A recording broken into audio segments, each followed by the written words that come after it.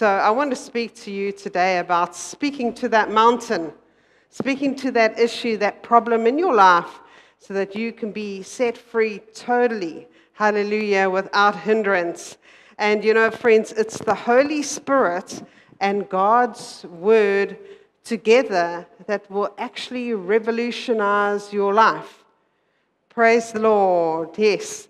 So you cannot just read the word and not be changed. If you are reading the word through the Holy Spirit, there will always be a change because he said that he sends his word and he heals us.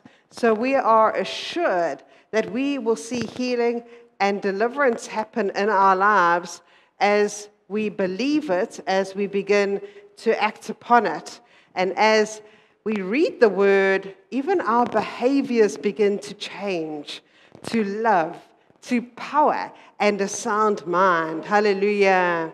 You see, if we're not reading the word through the Holy Spirit, um, that old nature is still there.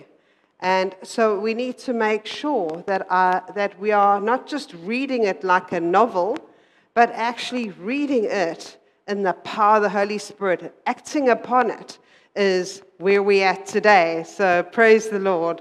And as we do read it, the streams of living waters begin to well up within us. Hallelujah. We can't not be changed. We are always changed through his word. Praise the Lord.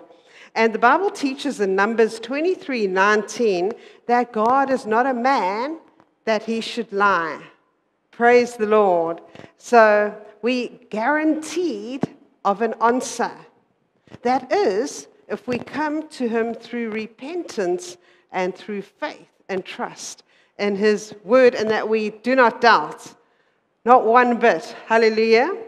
So, yes, you know, what He says He will do, and whatever He has spoken, we know that it will come to pass. So, we're not only going to be hearers, you know, deceiving ourselves, but actually one of those who will put the word into action and believe for that blessing to take place.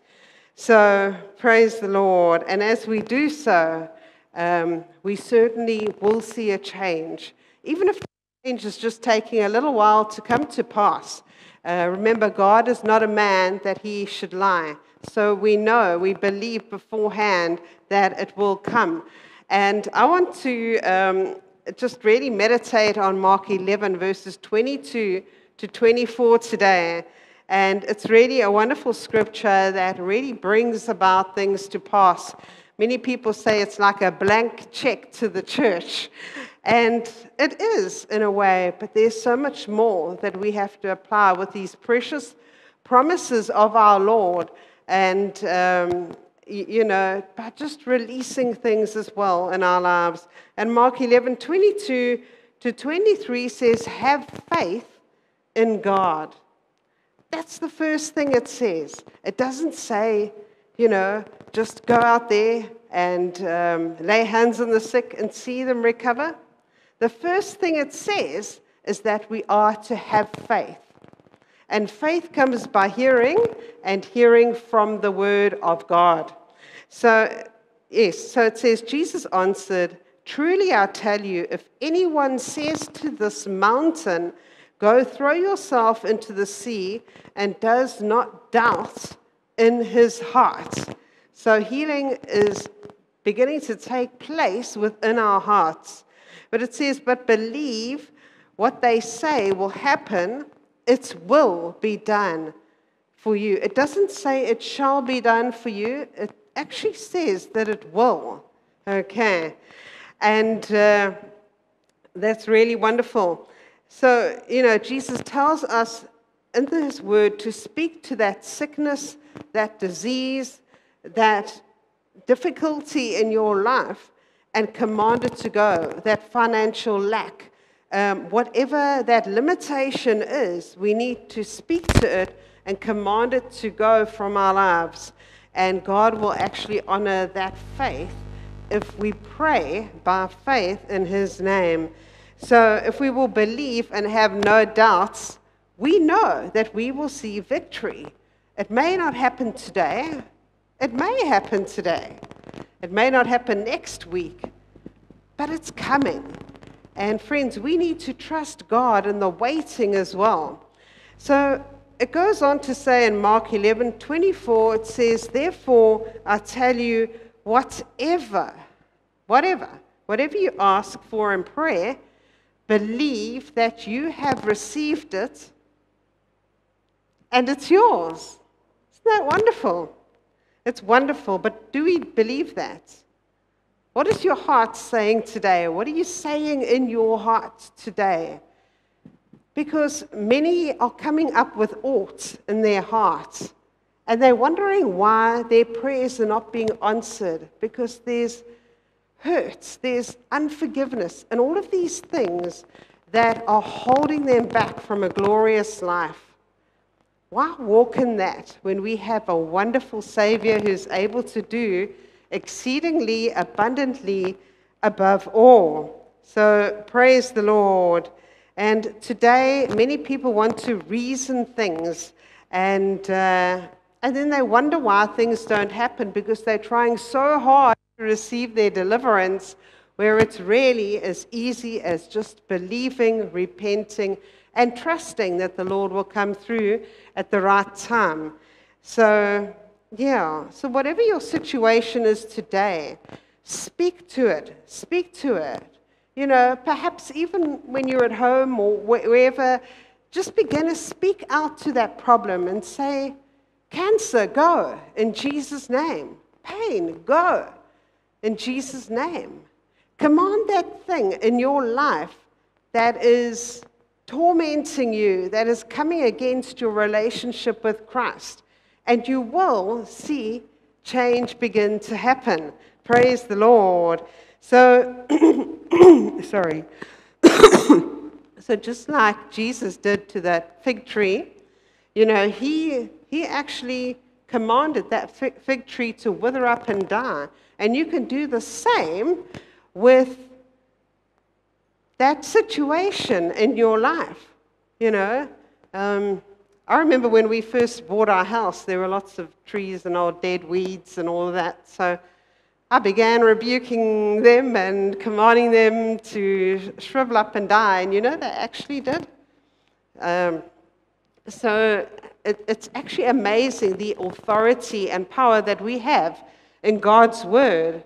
And uh, if you truly believe it, because then I went back the next day to have a good look, and it, yep, it sure was uh, withered up and died, and we were able to pull out those old weeds.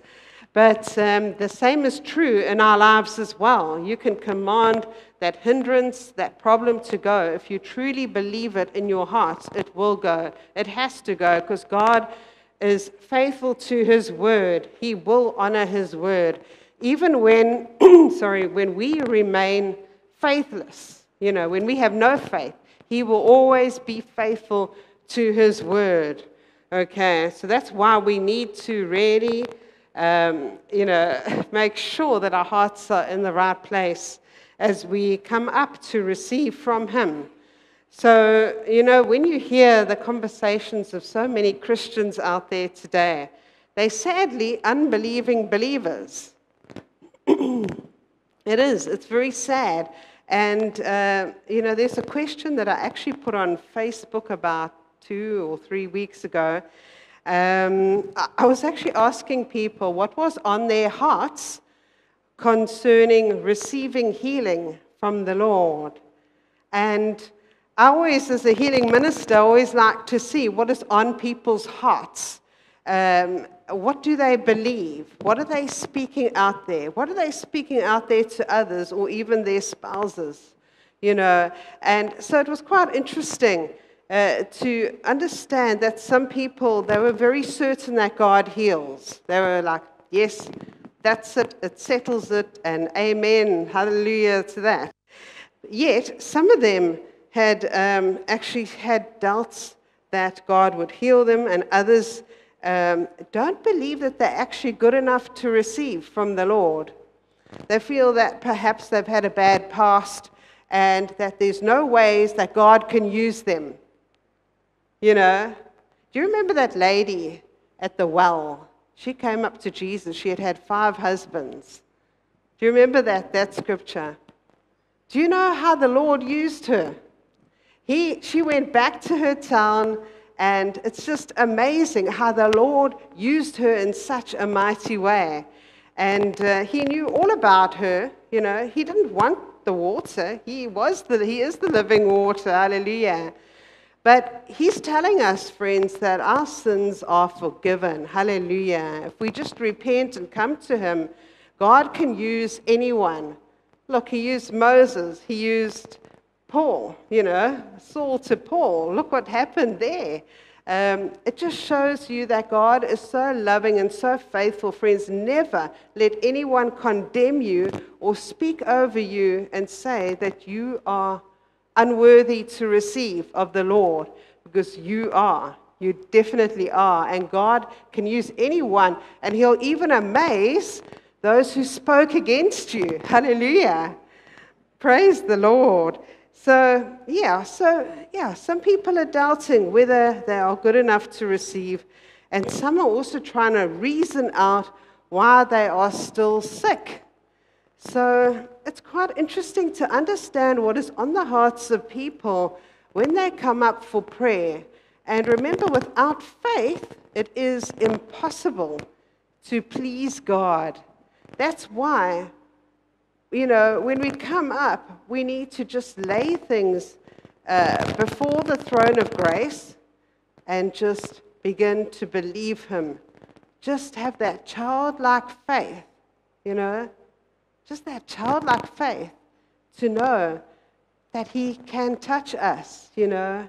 We cannot enter the kingdom of heaven unless we come as a little child. Hallelujah, friends. Hallelujah.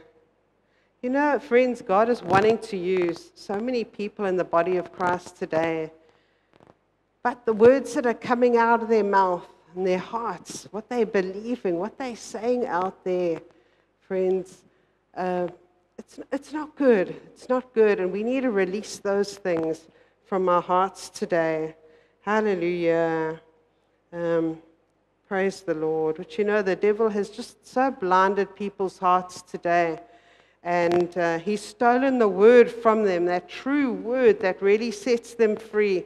And uh, it really grieves me to hear what is on the hearts of people and why many can attend these services for so many years, and yet some come in and they're out completely delivered, and some will go around the mountain and around the mountain, ever seeking never coming to the knowledge of the truth of God's word because their hearts are not for God. They appear to be for God, but their hearts deceive them. Friends, God is one, it says, without holiness, no one will see the Lord. But the Lord is faithful and just to forgive us and cleanse us, friends. So we need to really stake our lives upon that, that God is worth, uh, you know, He does want to use each and every one of us, but we need to lay things down. Hallelujah. And too many people are confessing doubts and uncertainties and worries and complaints and negative statements about their health and their bodies and their families and their marriages and their workplace as well.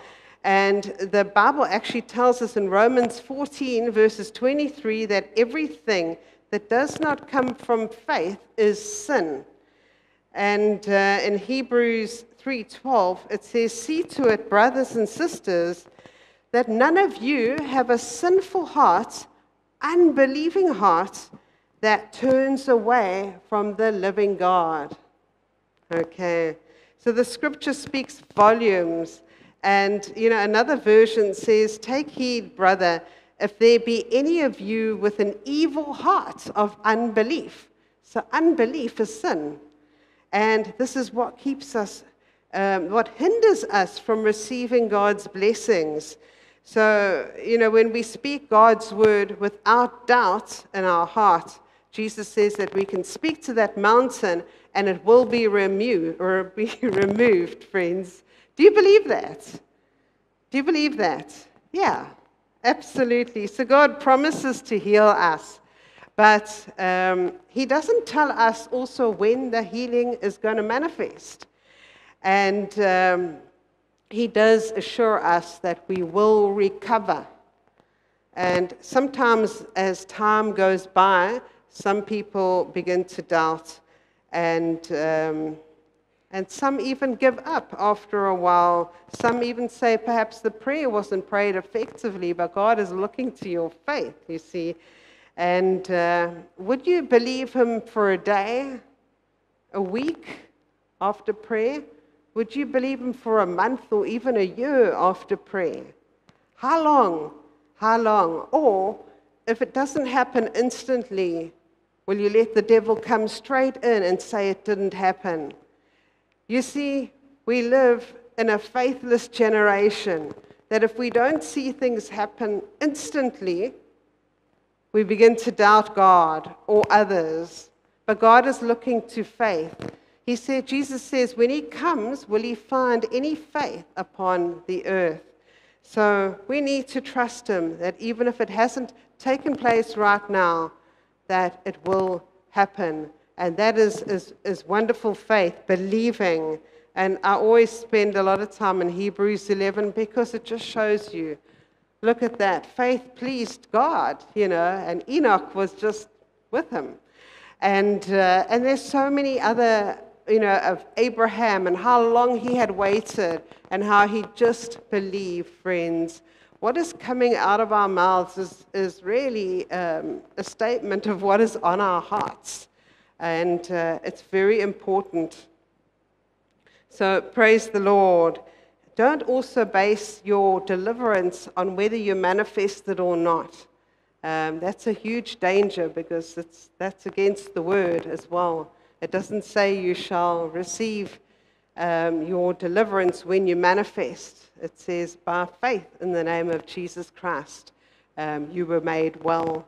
So whether you manifest or not, don't base it upon that. Amen. So there are many manifestations that do take place in this ministry. But don't be looking for, for feelings and things. Rather be looking to Jesus uh, in faith and then you'll see your deliverance happen a lot quicker um, because you're looking straight to Him. And if you come with a repentant heart, friends, you can see that deliverance will just begin to happen. And um, just remember that lady with the issue of blood. And she kept on saying within herself, you know, if I can only touch the hem of his garment, I will be healed. That's what she said in her heart. What are you saying in your heart today? And in Matthew 9 21, she receives what she believed in her heart, and she demonstrates that the power of speaking uh, or thinking faith to be effective. So, what are you saying in your heart right now as you come up for your prayer of deliverance and healing? Um, praise the Lord, because it will be done to you as you have believed. And uh, we must also be careful not to speak negative words. Uh, Matthew 12 36 says that we will give account for every idle word that we speak. Um, but we should also be careful what we open up our hearts to. What are you watching out there, friends? What movies are you watching out there? Are they something that glorifies Christ? Or do they have swear words? And there's so many that I've wanted to use, friends, in the body of Christ. But I know that within their hearts, they are so full of swear words, backbiting, and these things cannot, cannot really be in a ministry that flows in the grace of God. So, friends, let's rid ourselves of idle words, of evil words. Hallelujah. Because anybody who speaks like that, one must question what spirit are they flowing? What spirit are they praying for people with, you know? And this is the, the whole issue with false prophets today, is many are coming um, to receive from the Lord with an idle spirit, with a spirit that is not of the Lord. So, friends, we need to cleanse our hearts, cleanse our hearts, because Jesus is coming. And time is running very, very short. And people are full of idle words in their hearts. and that needs to go. The occasional swear word is not for the kingdom of God. God will not wink. He will not wink and say, Oh, that's fine, it's okay, it's light-hearted, it's fine. You are deceiving yourselves in such a terrible way, friends. Have nothing to do with fruit, unfruitful works of darkness. Have nothing to do with it.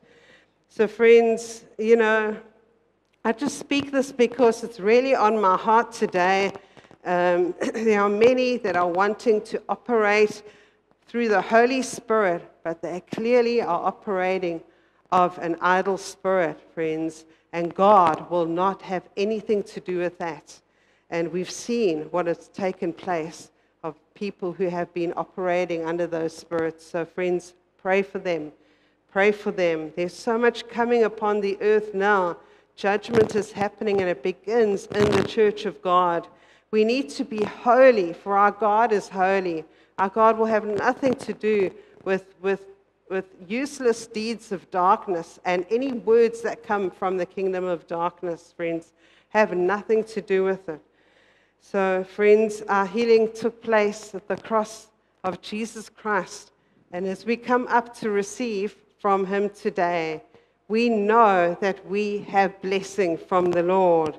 And we know that He is faithful and just to forgive us and to cleanse us. And just remember, we overcome this world by faith. Hallelujah.